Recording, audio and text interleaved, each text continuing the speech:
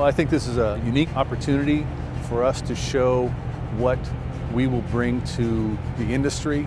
Uh, you can tell by our colors and our name that we want to be a leader in the industry and uh, our, our goal is to come across as just that, providing uh, the most outstanding service that is available in our industry.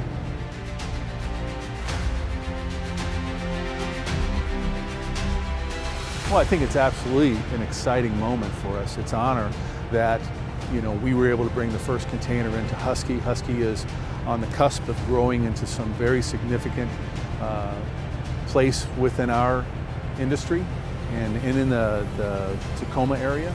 And so to be able to bring this first container in here was just really special for us.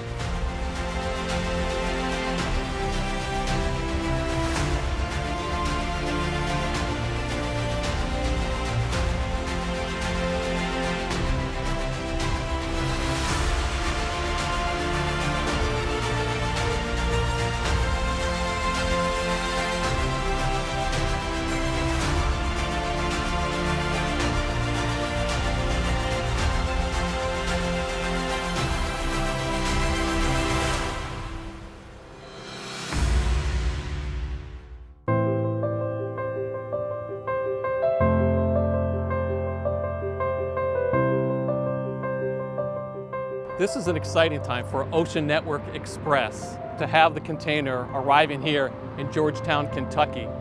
ONEU 000001 is spectacular. Seeing that come off the rail car and onto the chassis with one of our largest vendors is, is pretty cool.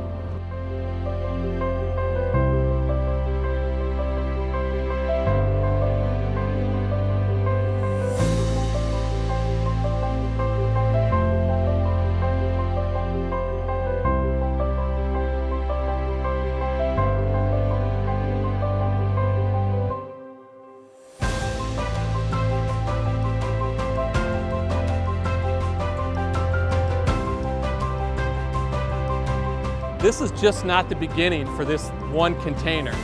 There's thousands of containers that are going to be moving. This is going to change the coloring on the railroads. It's beautiful. People are looking forward to seeing these as they move across the, the United States.